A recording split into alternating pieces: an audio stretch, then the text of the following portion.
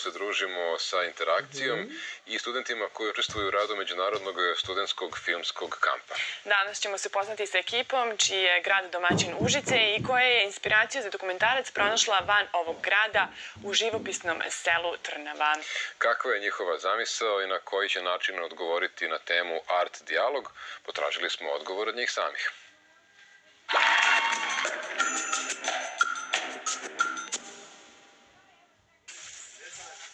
Mladi ljudi iz inostranstva koji, zahvaljujući interakciji, prvi put otkrivaju Srbiju, fascinirani su njenim prirodnim bogatstvom. I like classical music. Um, ja volim klasičnu muziku jer obožavam da sviram Lista, Chopina, Baha. U srcu sam pijanistkinja, u glavi dizajner zvuka, tako da mirim te dve stvari tako što studiram u Moskvi filmsku i muzičku akademiju. Priroda je ovde tako inspirativna, prosto se osjećate kao dete prirode. Teško je to objasniti, ali volim taj osjećaj. Um, I'm from Bulgaria. Dolazim iz Bugarske, a ovde je sve tako slično, mada me iznenađuju neke pojedinosti. Tako da imate osjećaj da ste na mestu koje istovremeno ne poznajete i poznajete. Zaista mi je lepo i osjećam se kao da sam kod kuće. Ja dolazim iz zaista vruće zemlje Egipta gde ima dosta prašine, pa je za mene prosto intrigantno doći u zemlju sa toliko zelenila. I zaista volim što radim u tako različitom okruženju. Osim prirode, i ljudi su neiscrpni izvor inspiracije za dokumentarni film, kaže budući producent Anja Ninković.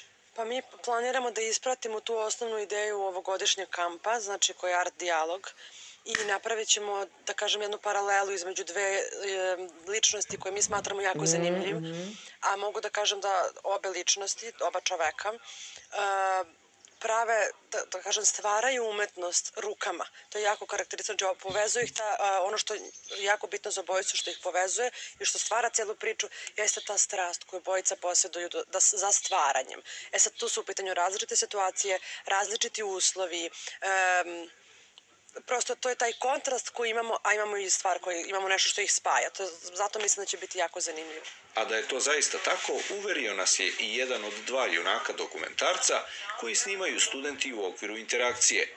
Međutim, umetnik naivac Vladimir Mitrović i njegova umetnička dela kao inspiracija poslužila su i stranim medijima, pa je tako Zlatiborsko selo Trnava postalo interesantno i za strane turiste video, ove sam godine imao gosta iz Švajcarske koji je video taj film, a takođe jednoga iz Francuske. Da pričam da je imalo stotinu, dvesta, ali polako ljudi kad dolaze videli su film ili čak mi je taj švajcarac doneo snimak tog filma i došao zanimljivo eto da imam u se, kod sebe na francuskom je normalno taj deo. No, ne bi drugačije imao taj francuski deo snimka.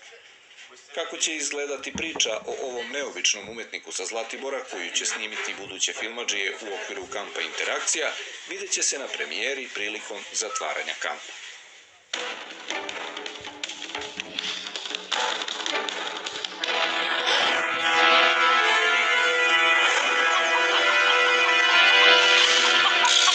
What do you